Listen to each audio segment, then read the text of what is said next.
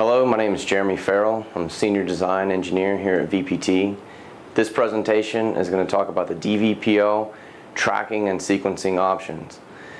Today, in many modern power systems, many voltages are required, requiring these to be controlled very precisely in both the rate of rise and the rate of descent, along with the turn on and turn off of these different voltage options. The DVPL provides a very highly efficient and very flexible option to control all these output voltages.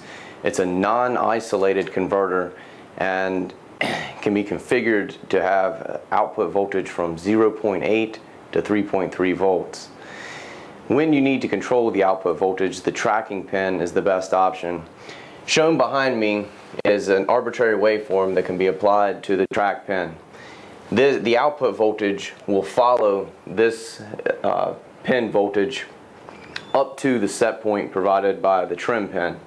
For instance, if this is a peak 5 volt from 0 to 5 volts, the maximum output voltage of the DVPL is 3.3 volts. If it is set at 3.3 volts, the output voltage will follow from 0 up to 3.3 and back down. There are a few stipulations when using the track pin. The first is the tracking delay. You need to apply VN at least 10 milliseconds before applying voltage at the track pin.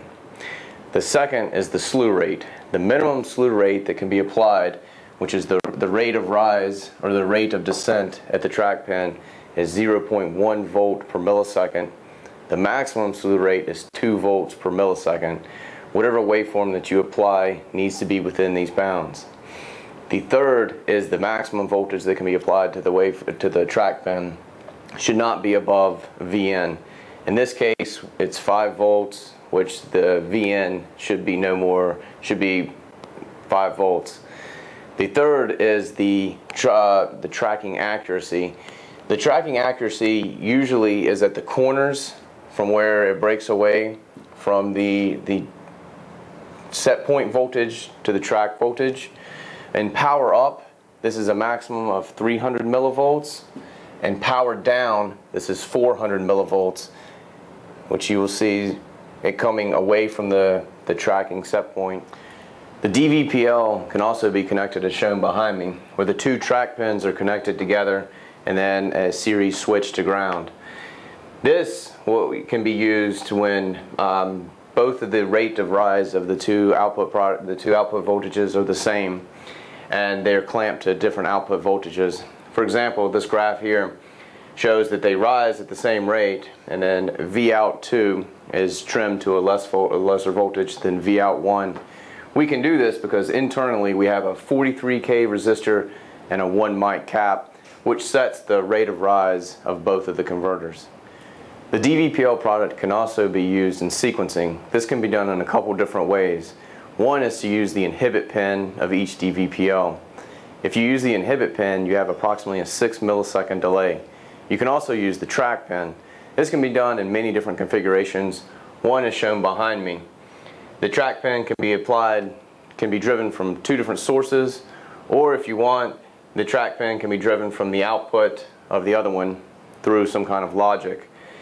If this is the case, uh, the output here, when V out has risen all the way, um, depending on the application, you have some kind of logic that will keep this low until V out 1 is all the way up, and then will allow V out 2 to start coming up. Now we'll go to the lab for a demonstration. For the lab portion of this video, we're going to use a standard DVPL 5 amp powered from a DVHE 5 volt. The voltage applied to the track pin is generated from an Agilent function generator and shown on the scope behind me. The slew rate of the rise is 2 volts per millisecond. It has a peak of 5 volts and the negative slew rate is also 2 volts per millisecond. So the input voltage once applied, the, the oscilloscope here shows the output waveform in blue.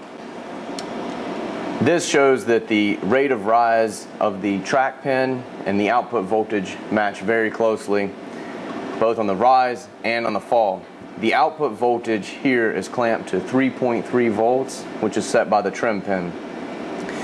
As I said in my presentation earlier, the error comes from the, the corners both here and here. In this presentation, I only showed one DVPL product. However, this can be applied to as many as needed.